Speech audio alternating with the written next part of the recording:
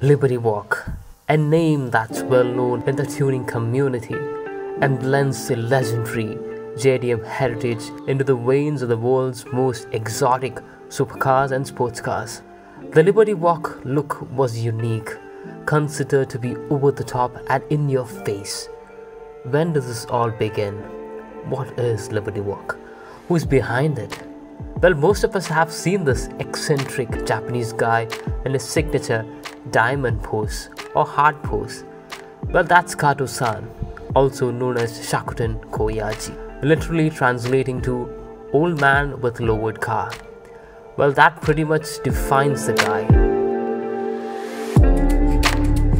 It was the Kaido races of the 80s and 90s in Japan with extended hoods and fenders that originally sparked the movement that became Liberty Walk. Those days, the Japanese street gang members would build cars with wide body, square fenders, transplanted headlights, and no bumpers as if to say, Don't ignore me. It was all aggressive, it was all colorful, and nothing had to make any sense. And it doesn't. The crazier the better, the bigger the better, the louder the better. This culture is loved by some, yet hated by others.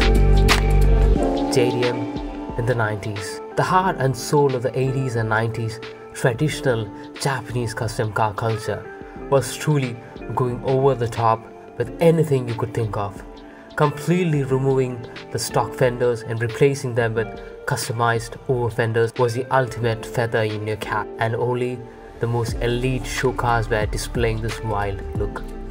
Wataru Kato, founder of Liberty Walk, has taken this old school Bosozoku style and adapted it for the exotics that are already over the top.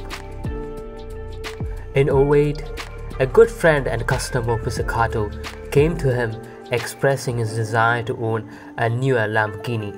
He wanted a Murci, but not just a regular Murci would do. He wanted to push the envelope and aggressively and enhance the already stunning appearance of the car. This was the beginning of LB Performance brand name, a company engineered to design, function, and appearance upgrade performance first styling as it has become known. What they mean function over form, more like a blend. Later in 09, an LB Performance Lamborghini Murci made its way across the Pacific to SEMA. This was the Liberty Walk world debut. The response from fans was tremendous, and Mr. Kato was an instant celebrity thanks to social media and the coverage of his build.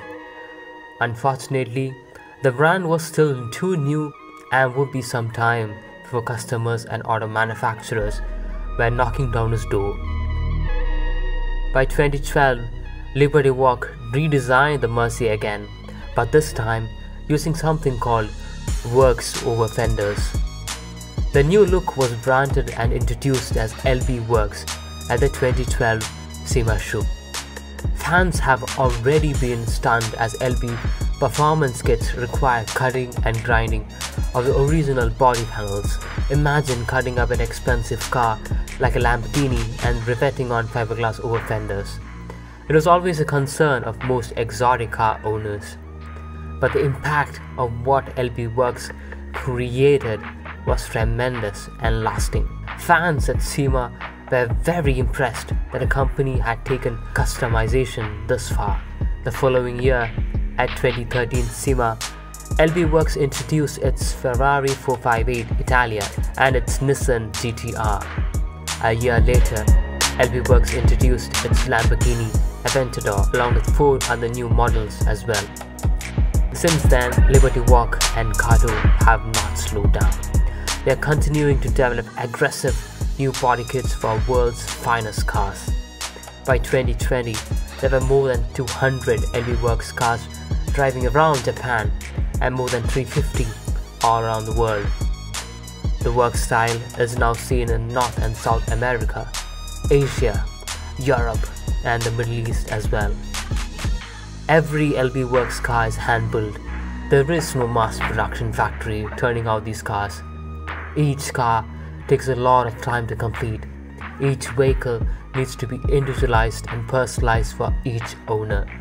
The company strives to build a unique LB Works car for each and every one of its customers. Liberty Walk takes great pride in what they do. Both Kato and the entire Liberty Walk crew strive to do things no one else even dare to try. They have carved their own path and started a world dominating movement. That's it for today's video guys. Hope you enjoyed this video. If you did, smash the like button for the YouTube algorithm and hit that subscribe button. And feel free to check out the merch and support this channel. Until next time, bye bye.